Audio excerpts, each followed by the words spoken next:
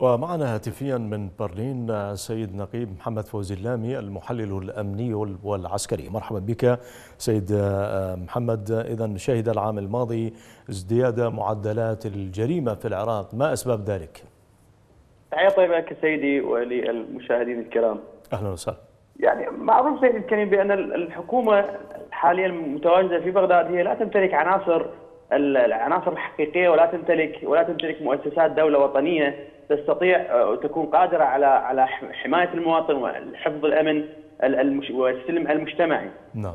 بالعكس أن أن ما حدث اليوم أن الآلة الحكومية والآلة الأمنية والعسكرية تمارس أيضا بممارساتها وبطائفيتها وبالأيديولوجية التي تتبعها هذه الأحزاب زادت من من وتيرة هذه العمليات وزادت من حالات الانتقام المجتمعي، المواطن أخذ يحس بالغبن، المواطن يحس بالتمييز الطائفي الذي تمارسه ال ال هذه الحكومة، فبالتأكيد سيد الكريم نحن أمام واقع من الممكن أنه اليوم إذا إضفنا عليه الأزمات الحالية التي أضيفت من من وجود ميليشيات وانتشار السلاح والأزمات السياسية بالتأكيد اذا هذه العمليات مرشح للارتفاع رقمها. إذا كيف ستواجه ذلك الحكومة؟ يعني زيادة معدلات جريمة يضع القوات الأمنية والحكومة في بغداد أمام تحد خطير. ما الخطوات الواجب اتباعها للوقوف أمام هذه الظاهرة الخطيرة على المجتمع؟ يعني سيدي الكريم الحكومة ملاحظ من, من تصرفاتها هي مهتمة بالجانب الانتخابي والجانب الإعلامي والحكومة بعيدة جدا عن الواقع. يعني المحللين ودوائر والدوائر المختصة تؤكد أشياء وتقول بأن هنالك حالات والحكومة متجهة باتجاه آخر، يعني الحكومة اليوم تعيش حالة انتشاء وحالة نصر لكن على أرض الواقع هذه حقيقة غير موجودة. بالعكس ما انشا تنظيم الدولة ما بعد 2013 وما انشا تنظيم القاعدة قبله اليوم الظروف الموضوعية تؤكد بأن الظروف هي اسوء وظروف مرشحة أنه تنشئ جيل متطرف أكثر من من تنظيم الدولة وتنظيم القاعدة كون أن المشاكل كبيرة المؤسسات هذه هذه غياب غياب حكومة وطنية شاملة والطائفيه السياسية التي تمارس هذه الدولة والمحافظاتيه بالتأكيد وصلتنا اليوم إلى مرحلة رأس مرحلة يرثى لها هنالك نزوح ومحافظات مدمرة وحالات فقر وبطالة ركود اقتصادي. فهذه نعم. جميعها الدولة اليوم ليس هنالك استراتيجية نعم. واضحة بأنها سوف تحل هذه المشاكل.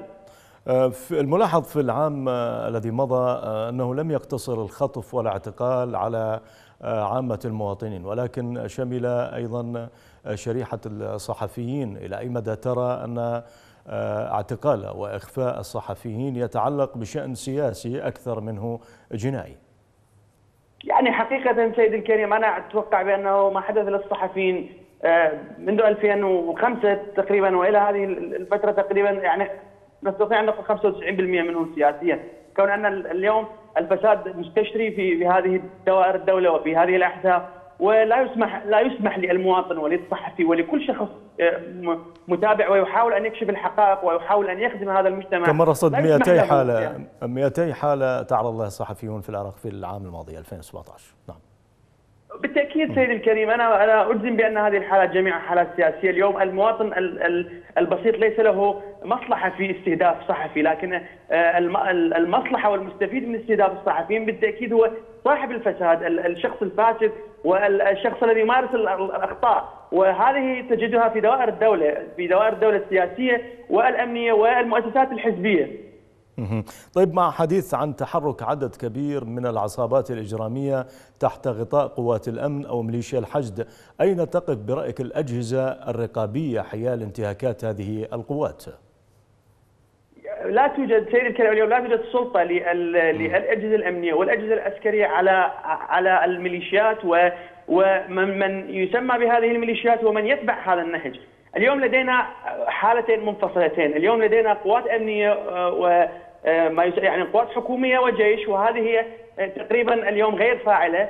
ولدينا اليوم ما هو موازي لها، دولة موازية للدولة، جيش موازي للجيش، الميليشيات الحشد الشعبي هي اليوم إذا لو صح القول بأنها أكبر مشكلة اليوم وأكبر خطر يواجه العراق ويواجه المواطن العراقي وهذه الميليشيات الغير منضبطة والميليشيات الطائفية كون أنها اليوم سمحت بتواجد السلاح أعطت شرعية اليوم لكل مجرم ولكل مواطن ولكل عصابة أن ترفع السلاح وأن تمارس هذه الجريمة وهي آه، حقيقة القوات الحكومية لا تستطيع ردعها. وإضافة إذا أضفنا سيد الكريم إلى جهاز قضائي فاسد آه، فبالتأكيد المشكلة كبيرة وليست هينة وتوقع بأنه 2018 سوف تستمر هذه المشكلة وقد تتفاقم. نعم سيد محمد في سؤال أخير إلى أي مدى تعتقد أن هذه الظاهرة ظاهرة ازدياد معدلات الجريمه في العراق في عام 2017 ترتبط بقضية الفساد الذي ينخر مؤسسات الدولة والذي اعترف به حتى العبادي نفسه؟ هو سيدي الكريم الفساد بالدرجة الأولى يعني آه، هو منتج لحالات اسوء اليوم بما انه الحكومة والدوائر هذه الدوائر الأمنية وداخل مؤسسات الحكومة اليوم هنالك حالات من الفساد. فبالتأكيد هنالك مضطهدين وهنالك مظلومين وقد يحاول المواطن ويحاول الصحفي ويحاول الشرطي آه، باستقصاء الخبر ومحاولة إنه تصحيح هذا الخطأ فيتعرض إلى الظلم ويتعرض إلى القتل والاعتقال والخطف والجريمة إحنا سيد الكريم لدينا جريمة منظمة جريمة سياسية بدعم هذه الحكومة ودعم هذه الأحزاب، اليوم ليست لدينا جريمة آه، بدوافع آه، كما هو موجود في دول العالم هنالك جريمة بدافع الجريمة، م. اليوم نحن لدينا جريمة بدافع السياسة، جريمة بدافع الهدف الانتخابي والهدف السياسي وجريمة بدافع الحصول على المنصب. نعم شكرا جزيلا لك من برلين سيد نقيب محمد فوزي اللامي المحلل الأمني والعسكري